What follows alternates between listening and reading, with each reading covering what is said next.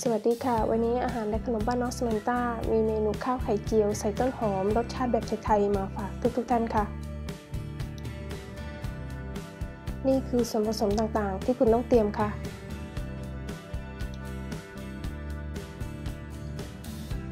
ในขั้นตอนแรกให้คุณเตรียมต้นหอมและให้คุณหั่นต้นหอมให้เป็นชิ้นเล็กๆค่ะ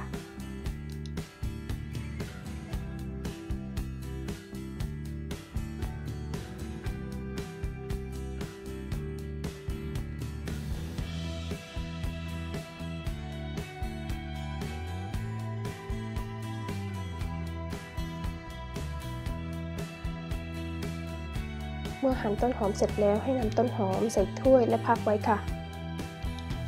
ในขั้นตอนต่อมาให้ตอกไข่ใส่ถ้วย ใส่ผงปรุงรสตามลงไปค่ะ ใส่น้ำปลา ใส่พริกไทยป่น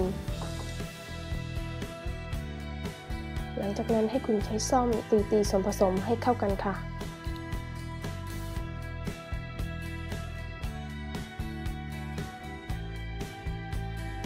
เมื่อส่วนผสมต่างๆ เข้ากันแล้วให้ใส่ต้นหอมที่หั่นไว้ตามลงไปค่ะ และให้คุณตีตีส่วนผสมให้เข้ากันอีกครั้ง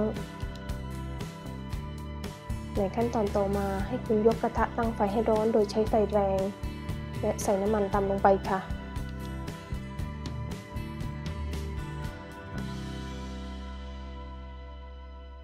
เมื่อน้ำมันร้อนได้ที่แล้วให้ใส่ส่วนผสมไข่ตามลงไปค่ะ หลังจากนั้นให้คุณทอดไข่ให้สุกเหลืองทั้งสองด้าน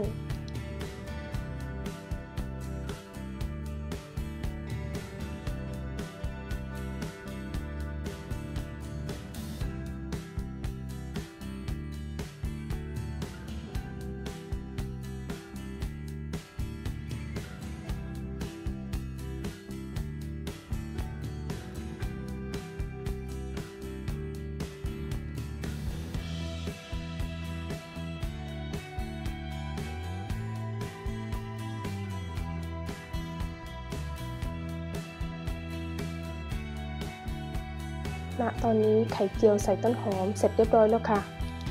ให้คุณตักข้าวสวยใส่จาน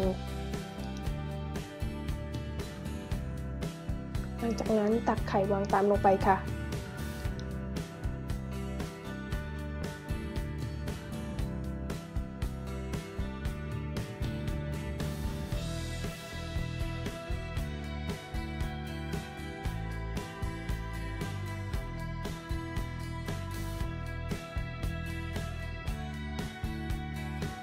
บีบซอสมะเขือเทศด้านบนนิดหน่อยและเสิร์ฟทันทีค่ะ ข้าวไข่เจียวใส่ต้นหอมเมนูง่ายๆสำหรับวันนี้เสร็จเรียบร้อยแล้วค่ะ ขอบคุณทุกๆท่านที่รับชมวิดีโอนี้ไว้พบกันใหม่วิดีโอหน้า สวัสดีค่ะ